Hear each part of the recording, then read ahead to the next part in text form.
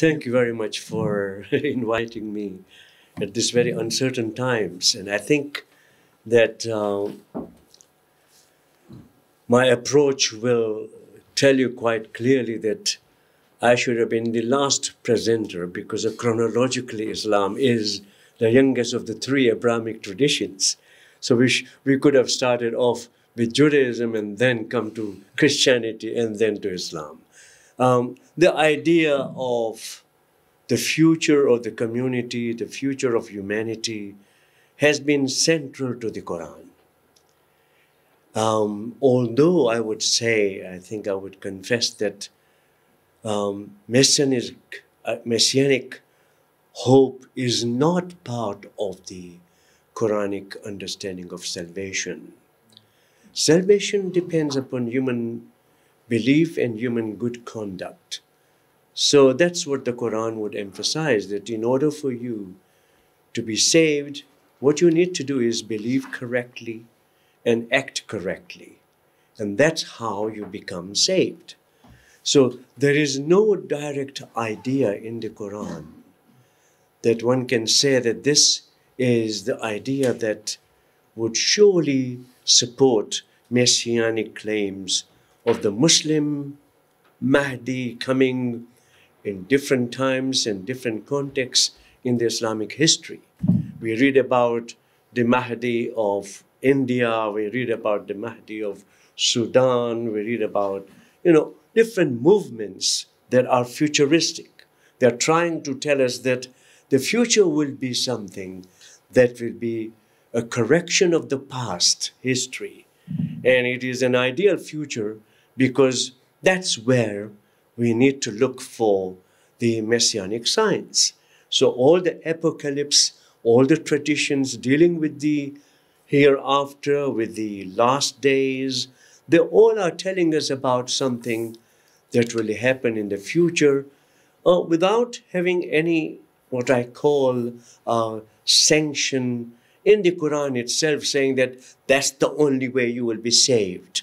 So there is no, it's, it's not a central idea in the Muslim creed to say that there will be a Messiah coming in the future and who will then deliver you. Because even the Prophet himself, Muhammad وسلم, was himself known as Nabi Akhirul Zaman, the Prophet of the last days. And there was already an expectation because in Medina, in Yathrib, there was already Jewish communities talking about the coming of Messiah, coming back of someone to deliver them. So it was not unconnected. There was already a feeling for Muhammad in the uh, among the different peoples that here is someone who has been promised in the you know in the Hebrew scriptures and he has come to save us and this and that. So there were ideas floating in the air about messianic mythology, which actually did point to Muhammad himself to be the Messiah, that he is the one who has come at the last moment and he's going to be the one to save the humanity from the final disaster, from the final, you know, examination. So you do come across these ideas and but no, what I want to emphasize is that nothing is really um, written in stone. You don't find traditions at that time to tell us that there is an idea of messianic separate being other than Jesus. Because the Quran does introduce Jesus as Kalimatullah. He is the Word of God. He is the Logos who will come when the Sa'ah, when the hour will be declared. In other words, there is already an idea in the Quran that there will be, Jesus will be coming as the Logos, and he will be the one to usher the Messianic age in the future. Now, during all this period, by the way, you find that there was something that was promised in the Quran. And this is my thesis. I must say that my thesis goes back to the searching of the Quran to find out what exactly does it say that the end of history will be marked by the appearance or reappearance of the Messiah. This was my, my search when I was doing my PhD in University of Toronto. This is what I was looking for. Where would I find evidence to tell me this is exactly what it is? That the Quran is presenting us with the idea of the future Savior who will correct the mistakes of the past rulers, who will establish the rule of justice and equity. That was the idea, that there will be a political order that will be ideal. It will be public order that would be carrying the emblems of justice and equity. Fine. But does the history really end up having that requirement or not? And my research took me through the Quran. What I discovered in the Quran was that success was measured in the among the Muslim community in terms of its ability to establish an ideal public order. There was an idea that the, the Prophet was not only the founder of the new religion, but he was also the leader of a new public order. The new Sharia then was required so that he would be able to teach his own followers the ideal rule that he was going to establish. And I think that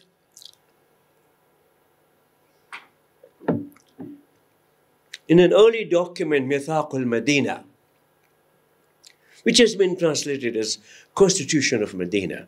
In, in that document, we do see, by the way, the attempt of the Prophet in Medina itself, in that city, to include Jewish tribes as part of the Ummah. This is very interesting because at that time it would have been quite easier for the Prophet to say that you, if you don't follow me, you don't accept me as the Prophet, you are out. You're not part of the community. No.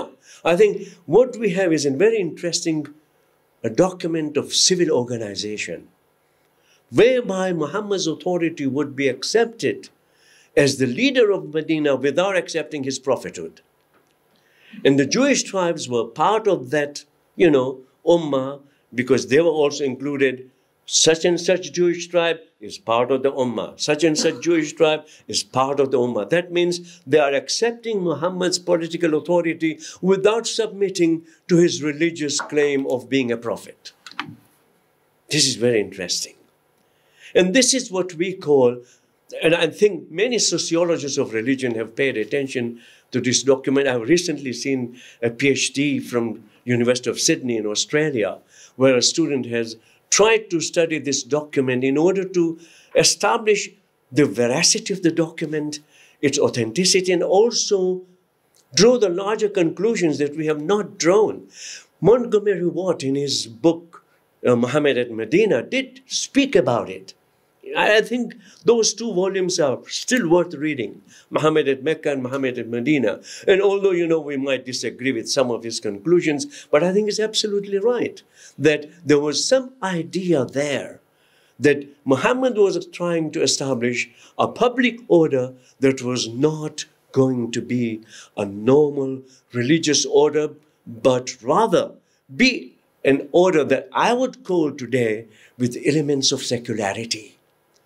That means saying that I, Muhammad, am the prophet for this community. You don't have to accept that about me, but you have to accept my authority as the ruler of this community, of the ruler of the Medina. I think this was remarkable.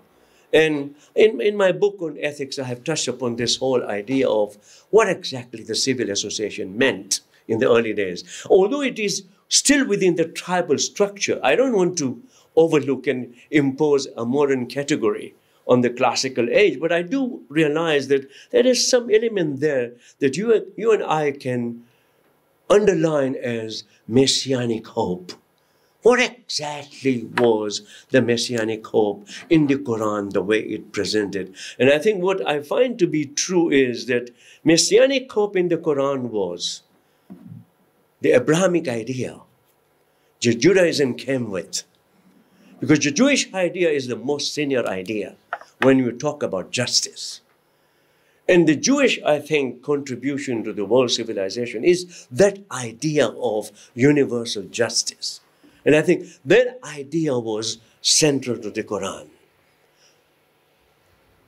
And I, I think that, that I, I, could cite so many verses of the Quran here, but I, I'm, I'm going to keep that to minimum because I'm, I'm not, my, my purpose is at the moment to tease ideas so that I can get some very probing questions from you. That how exactly do I, where, where do I come from? And how do I come to that conclusion? And I, I must say that my, con, my conclusion I will talk about later on, but there is a strong idea of messianic age in the Quran. And that messianic age is the one in which justice and equity are going to be predominant characteristics of the human public order. What human beings are assigned by the divine is that they need to take upon themselves to build a society which is accepting the principle of justice and equity as the cornerstone of their human relationships.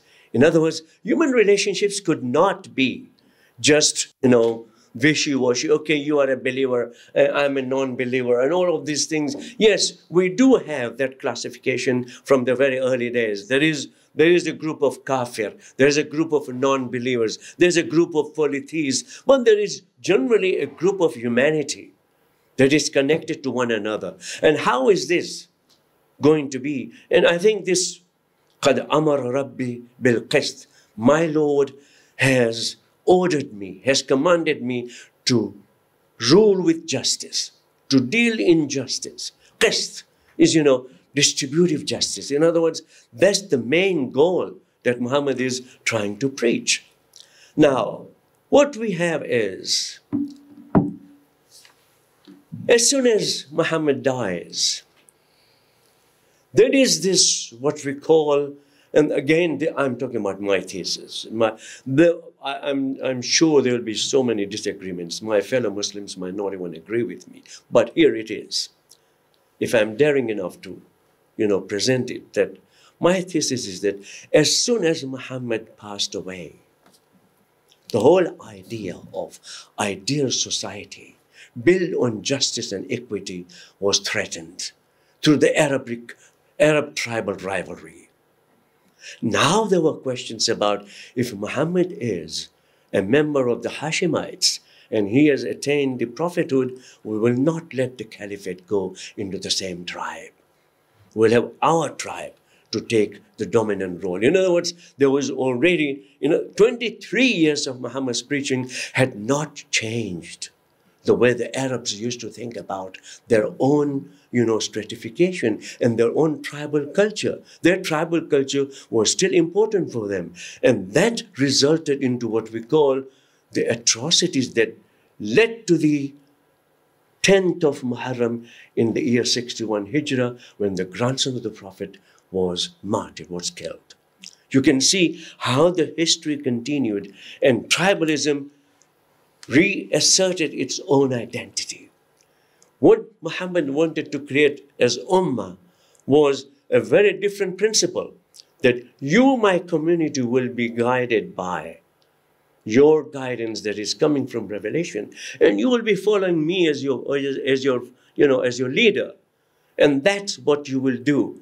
And there will be no blood relationship really going back the way semitic anthropology would have argued about it no, I think there was going to be somehow supplanted with a new community that was built upon faith and righteous work. So you find that that dream got lost.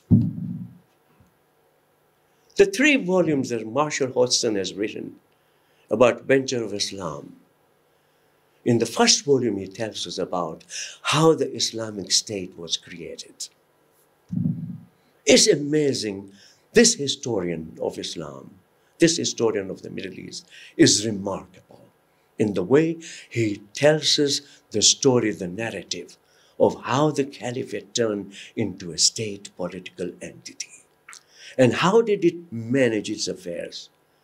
Under those circumstances, there were those who opposed that government, by the way. They were pious.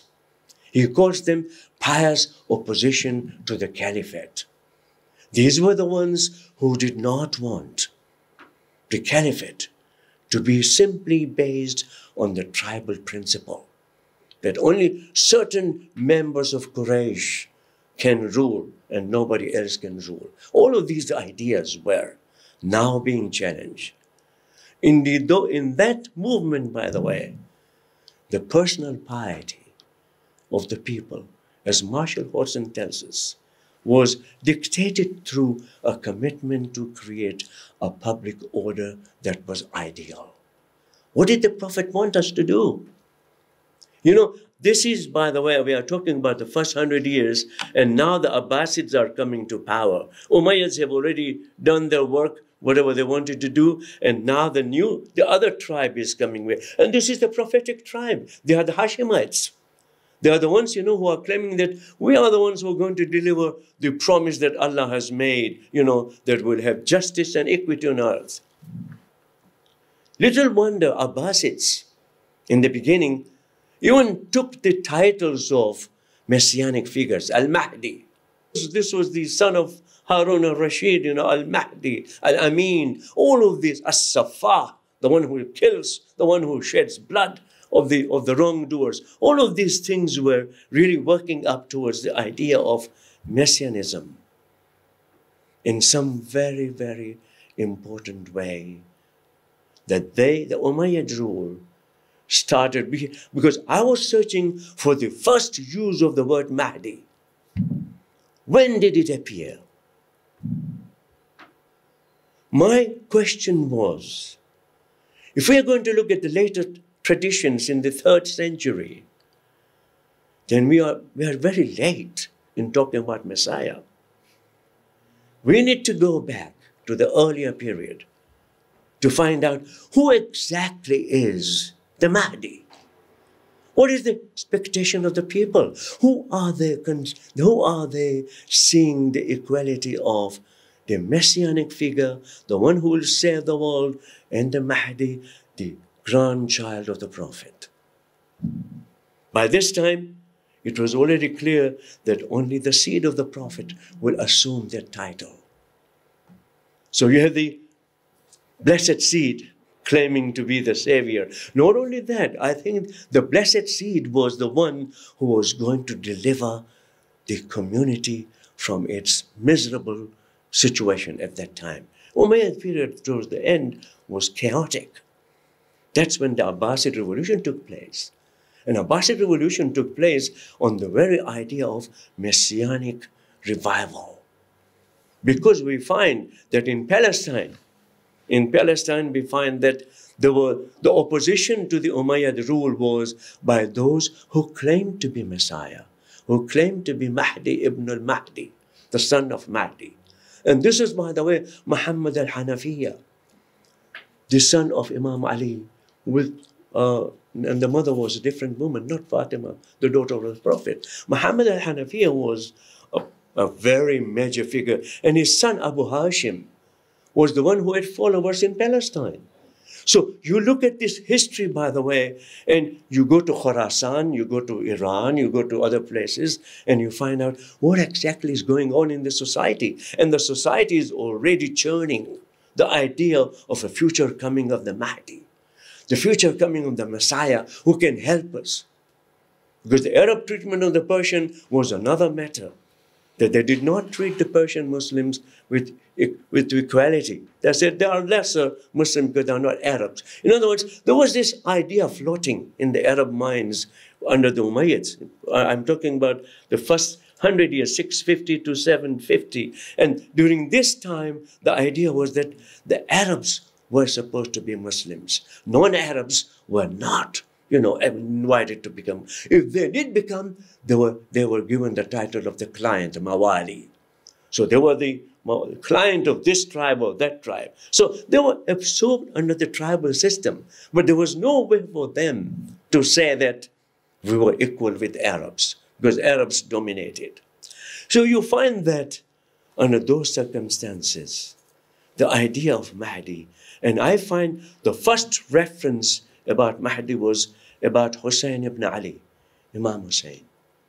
This was the first one, and Tabari tells us, by the way, that during the early days when Hussein was traveling from Medina to Mecca, in Mecca, Farazdak, the poet, very famous Arab poet, Farazdak, he is meeting Amr bin Abdullah bin As.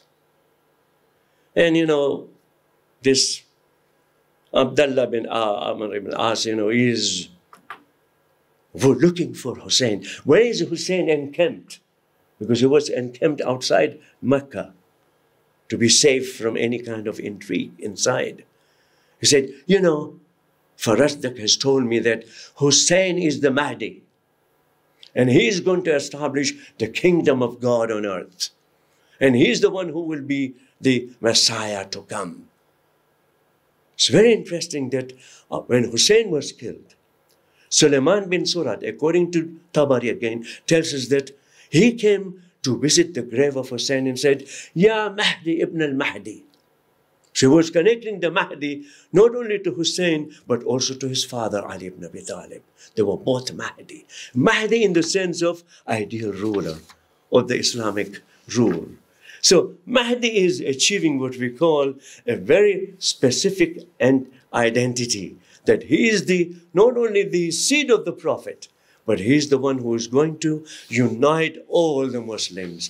He is the one who is going to establish the rule of justice and equity. I can go on and on and cite so many areas that I discovered in my research. But I want to come to a conclusion here. In other words, the idea was homegrown. Margoliouth, in his article on Mahdi in the Old Encyclopedia of Ethics and Religion, tells us this was something coming from the Jewish and Christian sources. I don't deny that, by the way, because the idea that was prevalent in Iraq, Iraq was quite, you know, varied community. Iraq was did not only have the Arabs, but the Persians, and you know, the uh, the Christians and Chaldean Christians. All there were different communities in in Iraq. So it was it was not homogenic community. It was heterogeneous. And they were all there with their own ideas.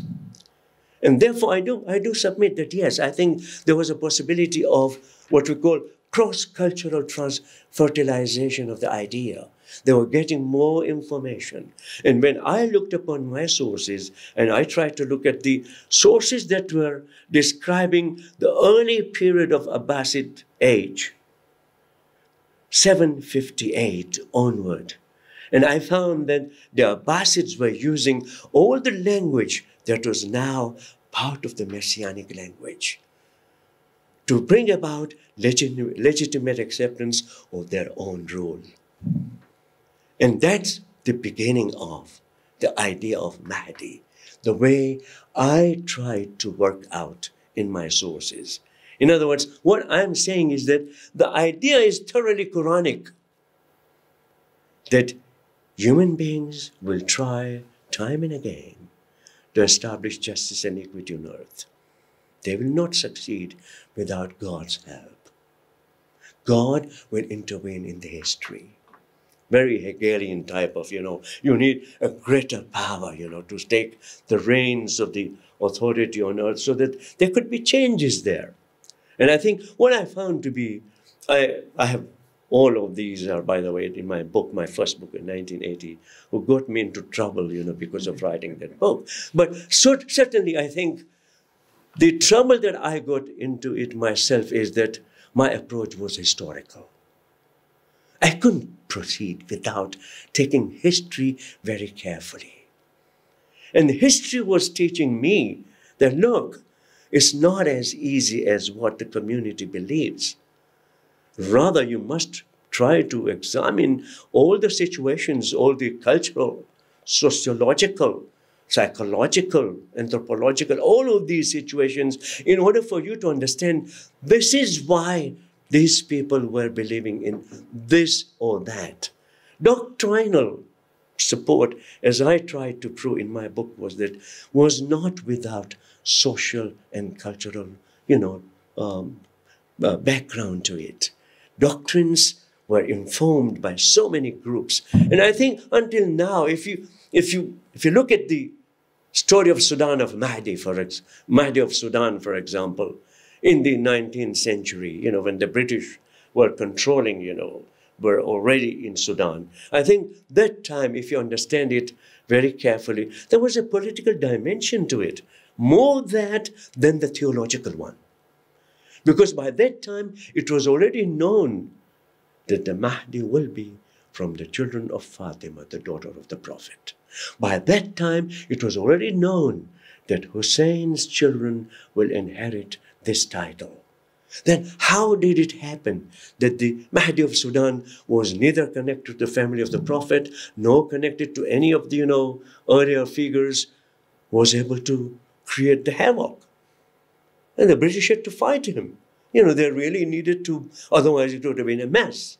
And, you know, Egypt was, was going to follow after that. So here you find that I think there are so many historical facts that we need to examine before we understand the futurist theology.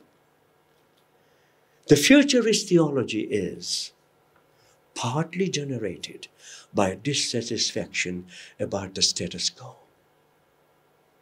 The dissatisfaction with the status quo was that, okay, we had this ideal caliphate of the Rashidun, the first caliphate, four caliphate, and then we have this kingship of the Umayyads. And then we have these pretenders of the Sharia supporters, the Abbasids, because that's what they did. Sharia becomes a very important part of Muslim identity under the Abbasids.